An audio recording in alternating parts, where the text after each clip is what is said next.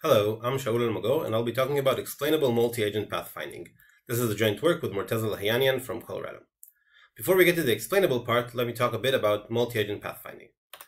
So in multi-agent pathfinding, we are given a set of agents, in this case some warehouse robots, the green, red, yellow, and blue robots, in some environment, in this case the warehouse, and each agent has a target. And our goal in multi-agent pathfinding is to find a plan for the agents, such that when each agent follows their plan, they get to their target, and if they take their plans simultaneously, the agents don't collide. So for example, we can run these agents within Planner and find a plan for them, and they run about and reach their targets. Now suppose there is some human controller who needs to see a plan and decide whether to execute it or not. And we want to convince this human controller that the agents indeed don't collide when executing the plan. How can we do that? So one way is just to give out the video of these agents not colliding. And if you follow the video very closely, you can see that they don't collide, but it's quite hard to follow, especially if you have a lot of agents or if they run about very fast. So the standard way of presenting this kind of plans is to give out the set of paths that compose the plan.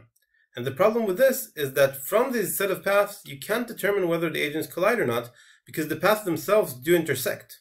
And that's not a problem in general, but you can't tell if the agents collide or not because you don't know at which time point each agent reaches their target. So what we present in this work is an explanation scheme to convince the human controller that the agents indeed don't collide. And that involves a slightly different representation of the plan. And the way we do it is as follows. Instead of presenting the entire set of paths, we only present time intervals of the plan, such that within each time interval, the paths themselves are not only not colliding, but also disjoint. So for example, in this plan, if we take the first nine time units and just present them, so at times 1 to 9, the red agent only followed this path, the green agent only followed this prefix of a path, and so on. And it's very easy to see that the paths are vertex disjoint. And if we take the second time segment, then again the paths themselves are disjoint, and a third time segment that completes the plan is also uh, vertex disjoint. And what we do now is take the entire plan and just decompose it into these three frames. The first segment, time segment, second time segment, and third time segment, and present these three images to the human controller. And the human controller can very easily see that the agents don't collide. Now, I'll remark, I'll remark that this uh, it's really easy to see that because finding out if two lines intersect visually happens very early in the cognitive process. So it's very easy to see that the lines actually don't intersect. Much easier than following, say, a video of the agents. So formally, what is this dis disjoint decomposition? Well, the input for multi-agent pathfinding is a graph, consists of vertices and edges, a list of sources for the agents, and a list of targets for the agents. A plan for the multi-agent pathfinding is a set of non-colliding paths for the agents. Now, given a plan of length, say t, a disjoint decomposition of the plan is a partition of the times between 0 and t, such that within each interval, the paths themselves are vertex disjoint as we saw in the previous example. So why do we need to explain these plans? Well, as we mentioned, uh, there are some applications for this. For example, in warehouse robots and also in air traffic control, where the controllers of air traffic actually do it by directing each plane where to go with the human. So if the human sees a plan, they need to be very convinced that the plan actually works before they give the directions to the airplanes. And if we want to optimize that, we need somehow to explain to the humans that the plans we devise are actually correct. There is also a strong relation, of course, to explainable AI, XAI. So in explainable AI, typically we try to explain all kinds of classifiers or plans that are devised by very complicated algorithms, uh, a lot in learning and deep learning, where we don't actually understand why the controller does what it does or why the plan acts the way it does. And the reason is that the algorithms are really, really complex. And what we should suggest here is to approach explainable AI for a problem that we understand really, really well. So we know how multi-agent pathfinding works. We know how to find plans. We understand the plans when they're found. The emphasis here is to somehow convince a human very quickly that the paths are indeed not colliding. There's also a theoretical interest in this plan because it shows a nice connection between multi-agent pathfinding and the problem of finding disjoint paths in graph, uh, which are not usually connected, and they have some interesting interplay between them. I'll mention a bit, a bit about this later. It also gives another parameter for evaluating a plan in multi-agent pathfinding, namely the number of segments you need when you decompose a plan, and I'll talk about that soon. All right, so what are the problems we study in this work? The first one is just multi-agent pathfinding in general. This is the problem of finding a plan that, of non-colliding paths for the agents. This is a traditional problem. We don't uh, add anything to it in this work. Given a plan, the first problem that comes to mind is plan decomposition. So we're given a plan and some parameter m, which represents the number of segments we're allowed to give, the number of frames. And we ask, is there a disjoint decomposition of this plan that has at most m intervals? And if there is, we want to find one. Now, once you think about this plan, you actually see that a much more interesting problem is to find a plan that admits a simple decomposition. So given a multi-agent pathfinding instance without a plan and this parameter m, can we find some plan that admits a disjoint decomposition with at most m intervals? That is, can we find a plan that decomposes well into a small number of segments? That is, is an easily explainable plan.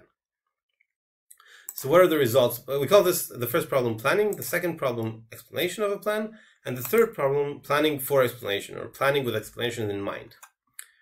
What results do we have about these problems? Well, multi-agent pathfinding is known to be NP-complete even for some restricted cases. Interestingly, given a plan, finding a disjoint decomposition can be done in p-time, and in fact it's a very simple greedy algorithm. Just try to add time units until the, the paths intersect. Once they intersect, stop and start a new segment. And this turns out to be optimal. Now, planning for decomposition or planning with uh, decomposition in mind is obviously also NP-complete because it's harder than multi-agent pathfinding in general. Interestingly, it's much harder in a sense, in that even if the number of agents is fixed, it still remains NP-complete. And the reason for that is that it actually forces you to find disjoint paths in graphs, which is also an NP-hard problem uh, for restricted cases. So this is a much harder problem. Right. So a bit more generally, what kind of properties do these explanations explanations admit? So in general, when you look at certificates trying to explain some phenomena or some algorithm, what kind of properties can you reason about? So I suggest a few properties. The first is soundness. If I present you an explanation, you should become convinced that what I'm trying to explain is true. In this case, if I present you a decomposition of a plan, you can become convinced that, that the agents don't collide. Another property is completeness. Is it true that every plan admits a decomposition? And the last property is simplicity. So the explanation I give should be simple to understand. Now, another interesting aspect of these properties are the intersection regions between them. So things that are sound and complete I will call proofs, because well-behaved systems have uh, sound and complete proof systems. Another property um, another intersection zone is the intersection of soundness and simplicity. So things that are sound and simple, I will call explanations. And the reason is that if I present to you this simple piece of data or simple piece of information, it should convince you that what I'm claiming is true. And the intersection between completeness and simplicity I will call diagnostic information in the sense that it's not necessarily sound. That is, for example, if I try to convince you that something is a guitar, I can present to you six strings. Now, every guitar admits this kind of decomposition or this kind of uh, explanation, but it's not true that anything with six strings is a guitar. So it's not a sound uh, system, it's just complete. So our explanations are sound and simple, or at least sound. Interestingly, these properties are not just Boolean. You can talk about them quantitatively and look at trade-offs between them. So for example, our decompositions offer a trade-off between simplicity and completeness in the following sense if I give up simplicity, and in this case, I mean by simplicity, I mean the number of pictures should be small. The number of frames I use should be small. If I give that up and allow any number of frames, then the scheme is complete. I can decompose any plan into each time segment and give out this as an explanation. So it's not simple, but it's definitely complete. On the other hand, if I want simplicity, if I want the number of segments to be small, I have to give up completeness because some plans are not explainable by a small number of pictures. But again, uh, simplicity. So this is an interesting trade-off to look at, and we'll look at it in a, in a second. So um, let's look at this example here, where the agents, the blue and red agents, try to reach their blue and red targets through this corridor. Now they can't go in this corridor together because they'll collide. The fastest plan is, of course, to send them one after the other, in which case they reach their targets in eight time steps. The problem with this plan is that the decomposition segments of it uh, are large. We need eight decomposition segments, and the reason is that in each time segment, the agents step on each other's paths. So the paths the paths intersect at each time segment. So I need a new frame for each step, so eight frames. On the other hand, there is another plan that achieves this goal, where we send the blue agent first to complete the target, and then we send the red agent. This plan has two decomposition segments, the first one until the blue reaches the target, and then the second one until the red reaches the target. The problem is, of course, that this plan is much longer. So if I want to explain short plans, I need to give up simplicity because they might require a lot of segments. If I allow, if I want a small number of segments, I might lose some completeness. I, I might sacrifice at least the length of a plan or maybe even the existence of a plan altogether. Right. now, if we want to implement this in practice, we need to consider this setting in a continuous setting.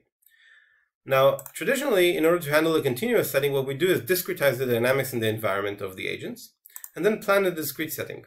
This works well in our case, as it does in a lot of multi-agent pathfinding scenarios, but we need to take uh, care of something a bit fine, which is that in order for the discrete decomposition, that is the decomposition we obtain in the discrete setting, in order for this to make sense in the continuous setting, we need to make sure that the agents move in some synchrony, because we need that after each segment, all the agents reach exactly the end of this segment. Otherwise, the paths themselves might intersect. Now, interestingly, um, if we use a finer discretization, typically a finer discretization may yield better plans. It turns out that even when it doesn't yield a better plan, it might yield a better explanation. So if we look again at this corridor example, suppose this is obtained by some discretization of some environment. And maybe if we use a finer discretization, it will turn out that this corridor is actually wide enough for the agents to pass together. In this case, the fastest plan can also be explained in two, in two frames, in two uh, decomposition segments. So we don't get a quicker plan, but we do get a better explanation for this quicker plan. Right, so to sum up, disjoint decompositions are an explanation scheme for multi-agent pathfinding. And finding a minimal decomposition for a given plan, that is a decomposition with the minimal number of segments for a given plan, is easy. But finding a plan that admits a small decomposition is very hard. And this adapts well to the continuous setting, supposing you've overcome this hardness.